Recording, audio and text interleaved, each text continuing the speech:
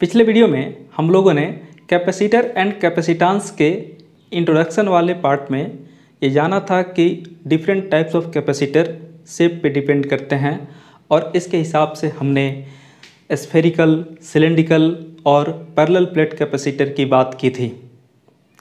ये जान लें कि parallel plate capacitor most commonly and widely use type of capacitor है। इस हिसाब से सिलेबस में इसकी पढ़ाई बहुत ही महत्वपूर्ण हो जाती है और हम इसको उस महत्व को देते हुए ही पढ़ेंगे।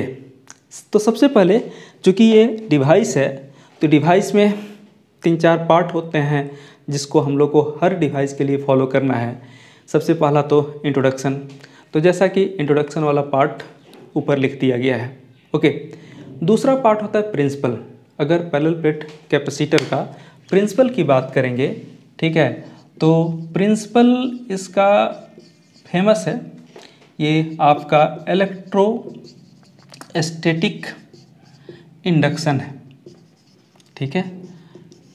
इंडक्शन चार्जिंग में पढ़ा था, वो यहाँ फिर से काम आएगा। अब नेक्स्ट पार्ट जो है कंस्ट्रक्शन एंड वर्किंग की आती है। तो कंस्ट्रक्शन में दो प्लेट ले ले लें। ठीक है? और दोनों पैरेलल होंगे। एक बात यह है कि पैरेलल, इसका मतलब ये नहीं कि केवल आप रेक्टेंगुलर प्लेट ही लेंगे स्क्वायर प्लेट ही लेंगे। आप पैरेलल प्लेट कोई भी ले सकते हैं सर्कुलर शेप का हो सकता है ओके रेगुलर हो सकता है इरेगुलर हो सकता है। कंडीशन यह है कि प्लेट पैरेलल होने चाहिए। वर्किंग स्क्रीन पे आपको दिख रहा होगा। धीरे धीरे आप उसको कॉपी कर लेंगे क्योंकि आपको लिखना ही होगा। तो इसमें एक सोर्स चार्ज पहले वाले से जोड़ लेते हैं। फ़र्स्ट कंडक्टर से। जैसे ही सोर्स चार्ज पहले वाले से आप जोड़ेंगे तो जोड़ने के बाद क्या होगा? इस बात पे ध्यान देंगे। आ, इस पे चार्ज पूरे सरफेस पे स्प्रेड हो जाएँगे। जब पूरे सरफेस पे चार्ज स्प्रेड हो जाएँगे तो इसकी कुछ सरफेस चार्ज डेंसिटी भी बन जाएगी। डिस्कशन करेंगे बाद में। चूँकि ये पॉजिटिव चार्ज आ गया है तो इसके अपोजिट वाले में नेगेटिव चार्ज भी आ जाएगा। Due to electrostatic induction closer face पे। और दूर वाले फेस पे, इसके दो फेस हैं, एक क्लोजर फेस और दूसरा दूर वाला फेस। जैसे मेरा हाथ ये है, इस तरफ़ चार्ज है तो ये पार्ट जो है क्लोज है, ये क्लोजर फेस इसकी बात कर रहे हैं, और वो दूर वाला फेस दूर वाले फेस पे क्या हो जाएगा? पॉजिटिव चार्ज चला आएगा। ओके अभी दूसरे वाले एंड से ये पॉजिटिव चार्ज को सेपरेट करने के लिए, हटाने के लिए, आप इसको अर्थ से कनेक्ट कर देंगे। प्रोसेस कहलाता है अर्थिंग डिस्कस इलेक्ट्रोस्टैटिक इंडक्शन में भी हुआ था। अब अर्थ करने के बाद से क्या होगा? अर्थ से इलेक्ट्रॉन्स आएँगे और आने के बाद से पॉजिटिव नेगेटिव का कॉम्बिनेशन बनाते जाएँगे। तो अपोजिट फेस जो दूर था फर्दर फेस वो न्यूट्रल हो जाएगा। यानी एक प्लेट पे पूरी तरह से पॉजिटिव चार्ज और दूसरे प्लेट पे पूरी तरह से नेगेटिव चार्ज स्प्रेड हो जाएँगे। ये जो सिस्टम आपको मिलेगा यही सिस्टम क्या कहलाएगा? एक पैरेलल प्लेट कैपेसिटर कहलाएगा। ये complete system parallel plate capacitor कहलाएगा। ओके अच्छा न्यूट्रल भी सॉरी अगर इसको चार्ज आप नहीं कर रहे हैं और दोनों प्लेट को आपने रख दिया है तो उस केस में ऐसा नहीं है कि पॉजिटिव वाले पे पॉजिटिव नेगेटिव वाले पे नेगेटिव ऐसा नहीं होगा। वो न्यूट्रल रहेगा। हाँ जब जोड़ेंगे सोर्स तब इस पर पॉजिटिव चार्ज आने लगेंगे। और ये नेगेटिव चार्ज जो अर्थिंग वाला है, उस पॉजिटिव चार्ज को पहले प्लेट पे रोक के रखने का काम करेगा। अगर कोई अट्रैक्शन ना हो तो वैसे हालात में ये पॉजिटिव चार्ज फिर से कंडक्ट होकर के वापस हो सकता है, लीक कर सकता है लाइक दैट लेकिन जब ये नेगेटिव लेयर ऑफ़ चार्ज रहेगा, ठीक है तो उसके कारण जितना हम पॉजिटिव चार्ज देते जाएँगे कैपेसिटी के मुताबिक, है ना, ये यहाँ पर जा कर के स्टेशनरी रहने लगेगा। स्टेटिक हो जाएगा। ओके तो अब आप आ जाइए नेक्स्ट पार्ट में। नेक्स्ट पार्ट क्या है? आपको एक्सप्रेशन निकालना है। ठीक है? किसके लिए? फॉर कैपेसिटेंस अभी कैपेसिटर है तो उसका कैपेसिटेंस होगा और कैपेसिटेंस का एक्सप्रेशन आपको मालूम होना चाहिए। अभी बीच का जो जगह है, ये बड़ा इम्पोर्टेंट है। मैंने बताया था ना कि कैपेसिटर का कैपेसिटेंस बेसिकली उसके शेप एंड साइज़ पे डिपेंड करता है और दूसरी बात उसके प्लेट के मीडियम के प्लेट के बीच के मीडियम पे डिपेंड करता है। और यहाँ पर मीडियम अभी कुछ नहीं है मतलब हम एयर मान सकते हैं। आ, आप बोल सकते हैं with air in the gap gap में एयर है। हाँ ठीक है। अब इसके कैपेसिटेंस का एक्सप्रेशन फाइंड करने के लिए वापस हम आते हैं और यहाँ डायग्राम वापस फिर से बनेगा। डायग्राम बना लीजिए। हम्म, कोई भी एक्सप्रेशन जब डिराइव करें तो बिना डायग्राम का मत कीजिए। कई बार एग्ज़ाम में ऐसा मिलता है कि किसी ने एक्सप्रेशन ड्राइव कर दिया और वो भी बिना डायग्राम के। होता क्या है?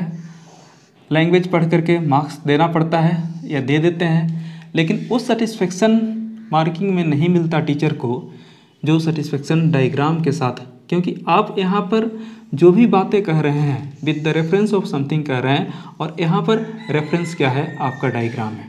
ओके तो जब आपने इसको पॉजिटिव चार्ज दे दिया, इस सरफेस पे पॉजिटिव चार्ज आ गए हैं। अच्छा इस सरफेस पे अर्थिंग के बाद नेगेटिव चार्जेज है ना? स्प्रेड करेंगे। पॉजिटिव चार्ज तो इस पर रहेगा नहीं। ठीक है? तो ये नेगेटिव चार्ज आपने स्प्रेड कर लिया।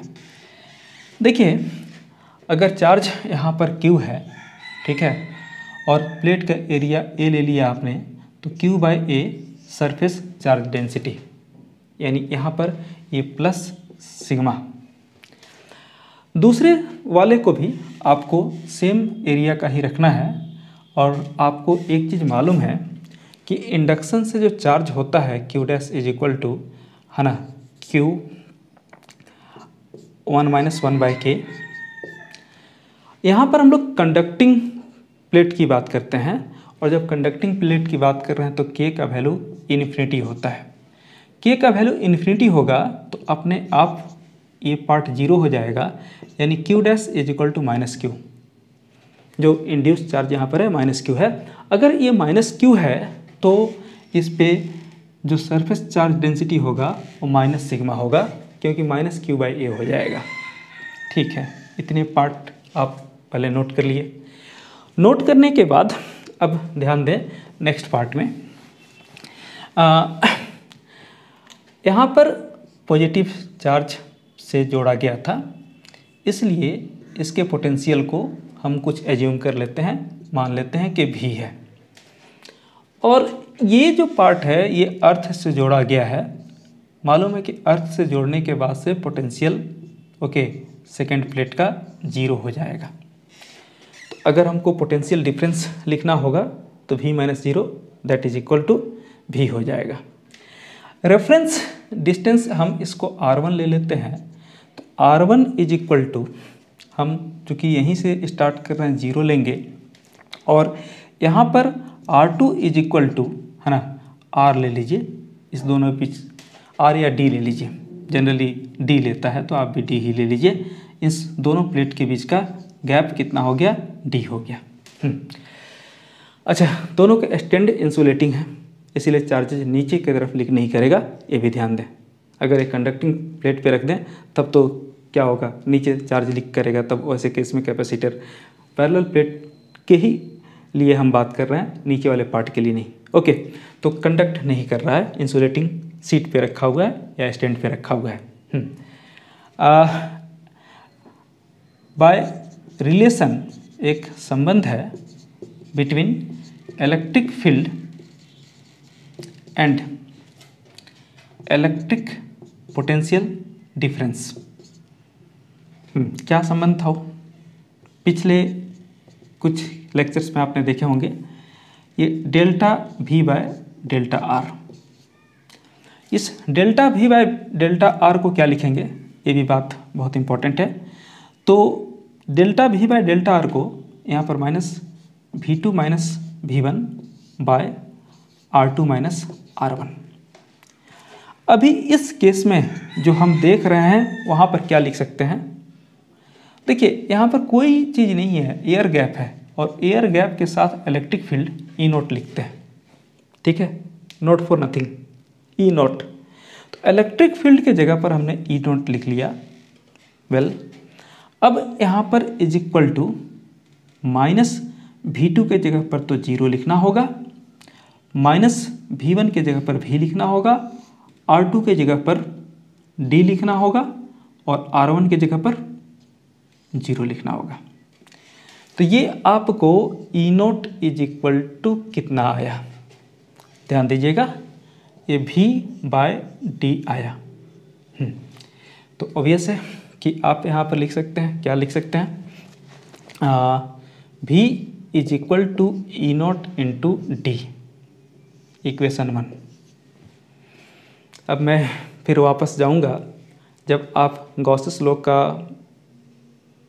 एप्लीकेशन देख रहे थे तो एप्लीकेशन देखने में आपने थिन सीट ऑफ़ प्लेट के कारण, ठीक है, अगर इस पर पॉजिटिव चार्ज है, ठीक है तो यहाँ पर आपने देखा था कि electric field sigma divided by two epsilon naught होता है हम्म।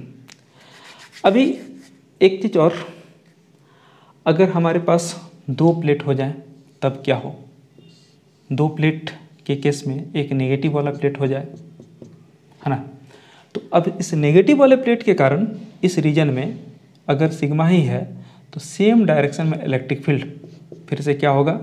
E is equal to sigma by two epsilon naught दोनों को जोड़ देंगे तो ई इज़ इक्वल टू आपके पास सिग्मा बाय एप्सिलॉन नॉट आ जाएगा। लेकिन ये तो तब बात कर रहे थे जब थिन सीट था। थिन सीट मतलब केवल सिंगल लेयर ऑफ़ चार्ज उस पर स्प्रेड कर सकते थे। ठीक है? लेकिन यहाँ तो आप कंडक्टिंग प्लेट की बात कर रहे हैं। तो यहाँ ऐसा क्या? कि हम क्या ये इलेक्ट्रिक फ़ील्ड बीच में सिग्मा बाय अपसिलन नोट ही लिखेंगे या कुछ और लिखेंगे? देखिएगा ध्यान से। अगर ये कंडक्टिंग सीट है और इसको क्यू चार्ज आपने दिया पहले सिंगल लेयर की बात करिए फिर आपको क्लियर हो जाएगा कि कैसे हमने हम्म, तो अगर आपने क्यू चार्ज दिया तो होगा क्या कि सामने वाले सरफेस पे इधर क्यू बाई टू और पीछे वाले सरफेस पे क्यू बाई टू अपने आप इक्विलिब्रियम कंडीशन में स्प्रेड हो जाएगा। अब अगर हम सामने वाले सरफेस के कारण इलेक्ट्रिक फ़ील्ड ई वन लिखते हैं तो यहाँ पर Q by two into two epsilon naught लिखेंगे और एरिया भी रहेगा, ठीक है? तो यहाँ पर क्या हो जाएगा? Q divided by four sorry Q by sigma sigma divided by four epsilon naught उसी तरह से अगर हम आ, पीछे वाले सरफेस का भी देखें तो वो आपका ई टू ये भी sigma by four epsilon naught दोनों को जोड़िएगा तो ऐड करने के बाद से आपके पास sigma by two epsilon naught आ जाएगा। तो कंडक्टिंग सीट में भी माना गया है कि पूरे सीट पे चार्ज क्यों दिए हैं? तो फॉरवर्ड और बैकवर्ड दोनों मिला करके जो इलेक्ट्रिक फ़ील्ड बीच में कंट्रीब्यूट करेगा, वो sigma by two epsilon naught एक प्लेट का और दूसरे प्लेट का भी sigma by two epsilon naught यानी between the two plates electric field हम अगर यहाँ पर रखें तो एक का sigma by epsilon naught two epsilon naught और दूसरे का sigma by two epsilon naught is equal to आपके पास क्या मिल जाएगा?